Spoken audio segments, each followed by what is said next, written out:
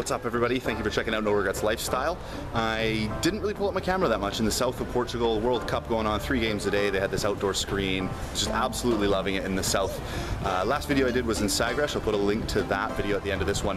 However, now I'm out of Portugal, I'm into Spain, and here's the deal. My parents are flying out with my sister from Vancouver to here in Seville, but they think I boarded my flight to the east of Spain, and I was gonna be kind of going around there and then meeting them in between where we have family around Marbella.